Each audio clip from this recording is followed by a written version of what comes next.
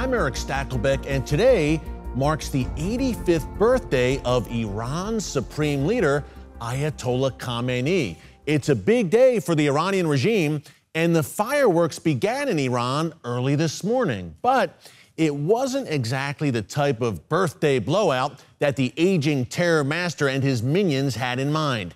The skies above Isfahan in central Iran lit up in the middle of the night as Israel responded to last weekend's unprecedented Iranian barrage, which saw Khamenei, the birthday boy, order the first ever direct Iranian attack on the Jewish state. Iran and its proxies launched over 300 projectiles at Israel, ballistic and cruise missiles, attack drones.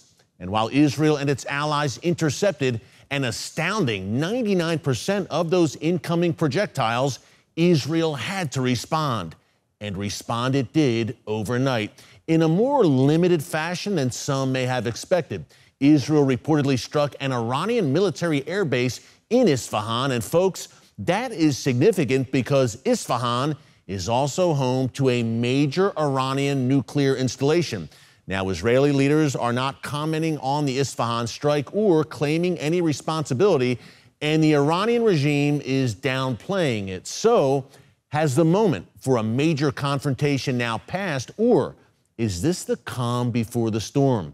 Joining us now from our Jerusalem studio to break it down is our TBN Israel correspondent Yair Pinto and Joel Rosenberg, host of the Rosenberg Report right here on TBN. Gentlemen, welcome. Yair, let's start with you. You and I have been talking here throughout the week on Stakelbeck tonight about this coming Israeli response.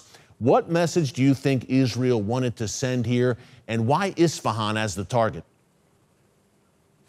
Okay, Erick, so Israel is sending a clear message to the Iranian regime, and the message is this Israel can reach you wherever it wants to and in the heart of the Islamic Republic of Iran. Isfahan is located in the heart of Iran.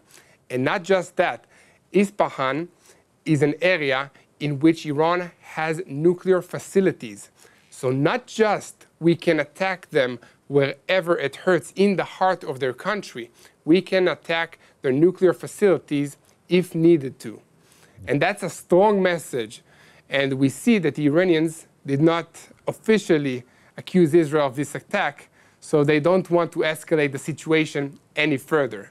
On the other side, as you said, the Israelis did not take responsibility officially, so it looks like both sides are trying to play it down, but this is the Middle East. Anything can change very fast. Yeah, just look at last weekend, Yair, when we were all here analyzing what happened, this unprecedented Iranian attack.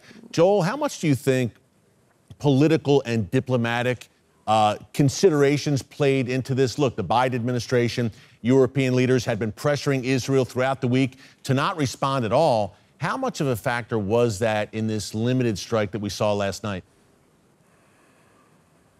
Yeah, Erick, I think it was absolutely uh, outrageous and reprehensible that President Biden was so openly demanding that uh, Israel not retaliate after 320 missiles and suicide drones, 85 tons of, uh, of explosives were fired by Iran, as though Israel is the one that's going to trigger a Middle East war. We are in a Middle East war. So, but yes, there are a lot of considerations that Netanyahu and the war cabinet are having to uh, uh, sift through, right? On one hand, you don't want to tick off Biden because we needed uh, Biden's veto at the UN on Thursday, right? When, uh, uh, when 12 countries try to jam down our throats a unilaterally, unilaterally declared Palestinian state. We need uh, uh, the United States to pass the $26 billion emergency military aid package for us this weekend. We need uh, the United States to continue to send us ammunition and missile and drone interceptors, right? Because we're burning through those at a very high rate.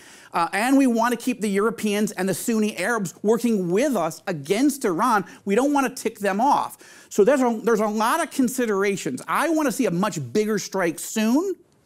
uh, against Iran. We've got to take out their nuclear and missile facilities before Iran gets the bomb. But I think this was the right choice right now because I think there's a lot of a lot of work that uh, Netanyahu and his team have and his colleagues have to do to shore up these alliances. Joel, you mentioned that nuclear program. We've been mentioning here on the show throughout the week. What if those missiles incoming last week to Jerusalem were nuclear tipped? That's Iran's ultimate goal. And Yair, when we look at the limited strike last night, some are saying, at least here in the States in the mainstream media, that the Rafah operation, the coming Rafah operation, was a big factor. Possibly the Biden administration. If Iran was limited with Iran, then maybe they'd get behind a Rafah operation.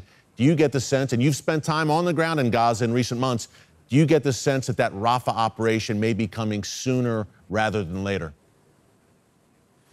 Yes, Erick, definitely. I think that Israel and the defense establishment in the Jewish state are focused on finishing the job against Hamas. And Rafah is the last bastion that Hamas still holds in the Gaza Strip.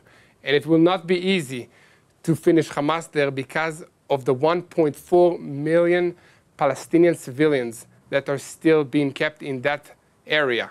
So Israel needs international support in order to conduct this operation, in order to achieve the goal of dismantling Hamas.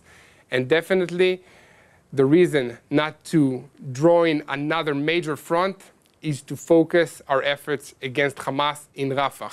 But one more thing is that it is important is that Israel, during this strike against Iran, launched multiple strikes in Syria and in Lebanon, neutralizing leaders of the Iranian proxy organizations that operate there. So we are still fighting Iranian proxies in the northern front of this country, as well as Hamas in the Gaza Strip.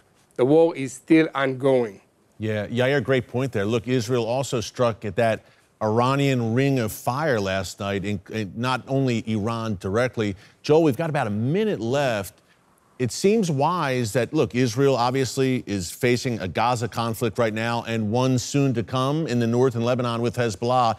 It seems like it is wise for Israel right now to focus on those two fronts rather than a larger confrontation with Iran. What are your thoughts? Yeah, I think uh, this is absolutely right. Look, Netanyahu, as you know and you've reported in the past, has wanted to take out Iran's nuclear facilities since 2012, but couldn't muster, you know, full cabinet and military support. Now he has that support, but the question is timing. It's sequencing. We've got to win in Gaza. We've got to defeat Hamas and get our hostages back. That's our number one priority. Then we have to turn towards Hezbollah if Iran wants to play direct, which they've now come out of the shadows in an unprecedented fashion, we will go after them. We've got more power than they do, and we've got a coalition. But I think it's a matter of sequencing. Gentlemen, in the time we have left, uh, real quick, Hezbollah, look, uh, some 80,000, maybe even 100,000 Israelis evacuated from the north. It seems that it's inevitable that is. You were just there the other day, Yair. You, you joined us here live uh, after a drone crashed near you and your crew.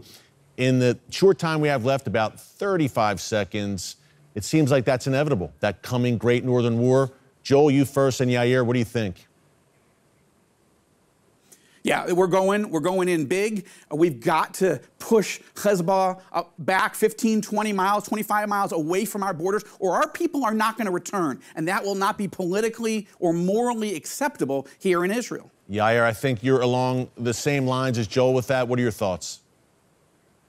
There is no other alternative. The IDF must actively push Hezbollah away from the border with Israel in order for the citizens to get back to their homes. Wow. No other way. Tumultuous times in the world's most tumultuous region, region, and what happens in the Middle East does not stay in the Middle East. That's why we're so glad we have Joel and Yair. Gentlemen, thanks so much for being with us. Shabbat Shalom and stay safe. We'll see you again soon.